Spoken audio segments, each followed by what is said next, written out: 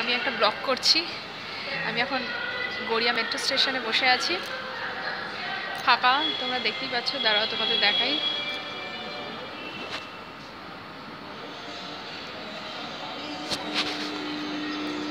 দেখো, একদম ফাঁকা।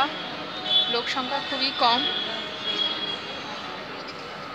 আমাদের ডেস্টিনেশন হচ্ছে নিউ মার্কেট আমরা এখন নিউ মার্কেটে যাচ্ছি।